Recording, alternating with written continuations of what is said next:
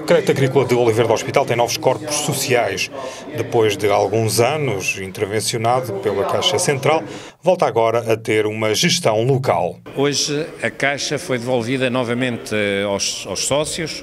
Eh, por causa de problemas que se passaram, de um processo muito doloroso para a Caixa de Crédito Agrícola de Oliveira do Hospital, com uma intervenção que eu Acho que este processo foi um processo de erros do passado e que não deveria ter acontecido, mas aconteceu.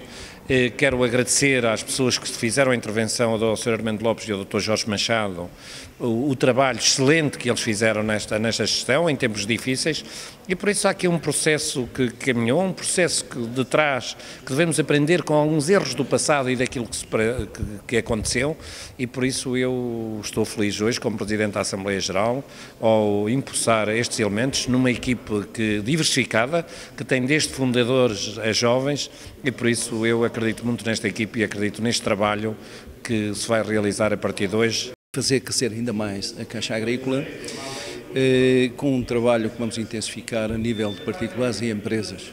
Eh, a Caixa tem estado, de facto, a crescer, eh, como de facto os seus indicadores mostram, e queremos que ela continue, de facto, a crescer e queremos que ela seja o banco do Conselho, como já é, Queremos que os particulares e empresas intensifiquem a sua atividade com a Caixa Agrícola, porque é para isso que ela aqui está, é para ajudar ao desenvolvimento económico e espero que a equipe que hoje é impulsada no Conselho de Administração, eh, aliás, eu não espero, eu tenho a certeza que essa equipe vai estar virada para isso e vai de facto continuar eh, a engrandecer eh, o Conselho.